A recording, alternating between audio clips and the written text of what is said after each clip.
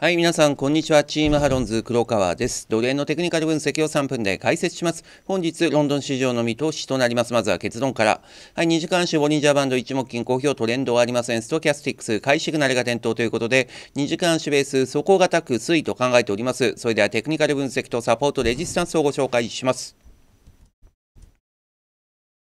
はい、2時間足ボリンジャーバンドトレンドの方向性を示す赤い点線21本移動平均線真横を向いております。明確なトレンドは出ておりません。はい、そんな中、ローソク足と言いますと、138円の761まで下がった後、現在は買い戻し優勢ということです。2時間足ボリンジャーバンド明確なトレンドは出ておりません。はい、2時間足ストキャスティックス買いシグナルが点灯しております。はい、2時間足の一目均衡表です。ローソク足と雲の位置関係から明確なトレンドは出ておりません。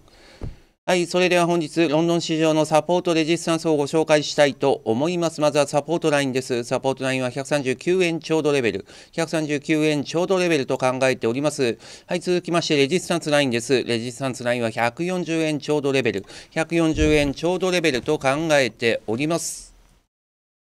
はい、右のバナーのチームハロンズ視聴者キャンペーンのご紹介です。YouTube 概要欄から講座解説をして、キャンペーンにエントリーしていただきますと、通常の講座解説特典2000円と新規取引以下1万通貨、10ロット以上でチームハロンズ視聴者キャンペーン特典5000円と合わせて7000円プレゼント中です。さらに取引用に応じて最大30万円、合わせて30万7000円のキャッシュバックとなります。詳細は YouTube 概要欄のリンクより先のページにてご確認ください。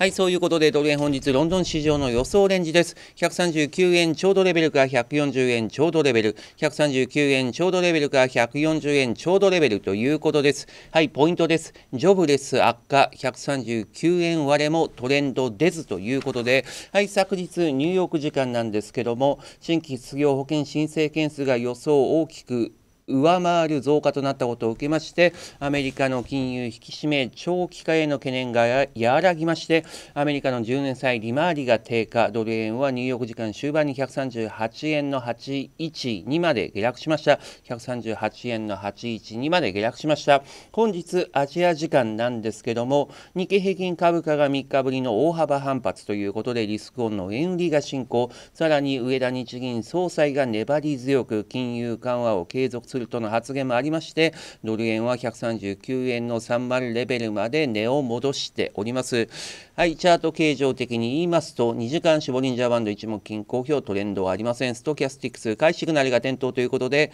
はいドル円本日ロンドン市場におきましてチャート形状的には底堅く推移と考えております。ドル円本日ロンドン市場におきましてチャート形状的には底堅く推移と考えております。最後にグッドボタンチャンネル登録よろしくお願いいたします。ます。本日は以上となります。